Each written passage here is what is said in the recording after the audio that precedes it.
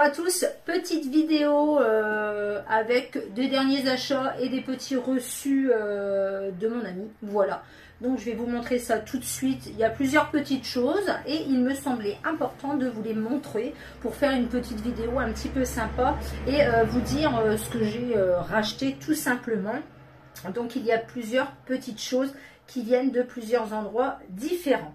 Donc tout d'abord, mon amie m'a donné, euh, parce qu'elle a des soucis de peau, on lui a offert euh, le shampoing douche Homonoï. Voilà, en 200 ml. Et comme elle a d'énormes problèmes de peau et qu'elle ne pourra pas s'en servir, elle préfère me le donner euh, pour que je l'utilise. Parce que moi, je n'ai absolument pas de soucis du tout au niveau de ma peau avec ce genre de produit. Donc, je suis contente d'avoir ce gel douche. Il ira directement dans ma trousse de toilette pour les vacances. Et avec, il y avait un gel nettoyant pour les mains en 50 ml que je prendrai également euh, du coup pour les vacances. Donc voilà pour ce petit don euh, bah, qui me fait plaisir et que j'utiliserai de toute manière.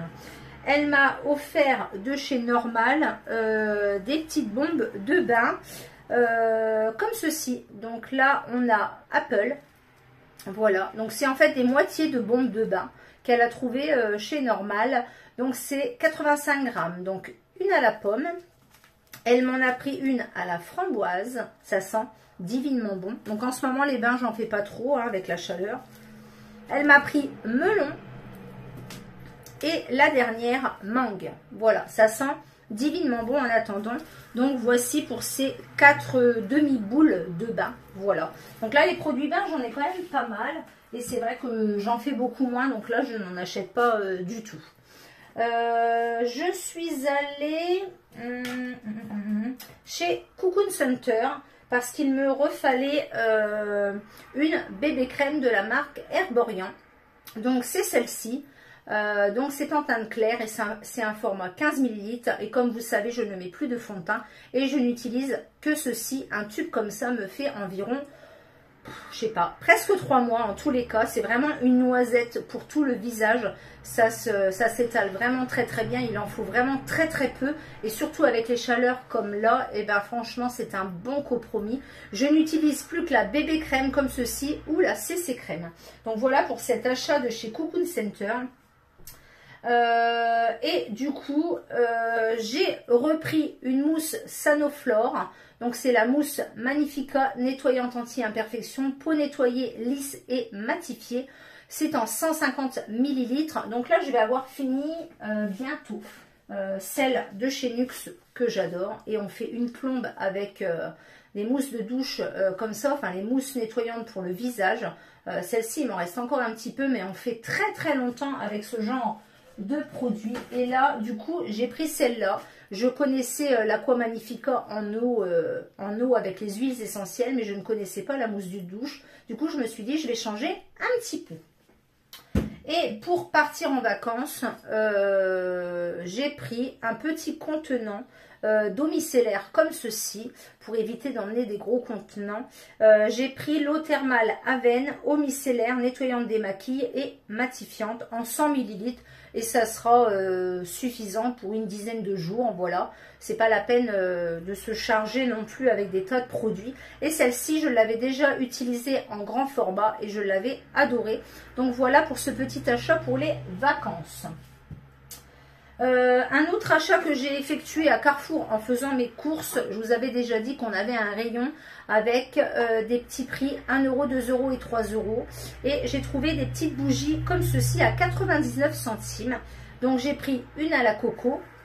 Alors en ce moment c'est pareil, j'allume moins de bougies qu'avant. Mais du coup ça me permet de refaire un petit stock. Donc voici pour celle à la coco. Elle sent divinement bon. Donc celle-ci, je l'ai payée 99 centimes. Et c'est un format euh, de 65 grammes. Et du coup, j'en ai pris une autre, mûre et sauge, parce qu'elle sentait, pareil, divinement bon. Oh, j'adore, j'adore, j'adore. Alors, il y en avait une ou deux autres, mais qui sentaient pas bon du tout. Donc, j'ai préféré ne pas prendre.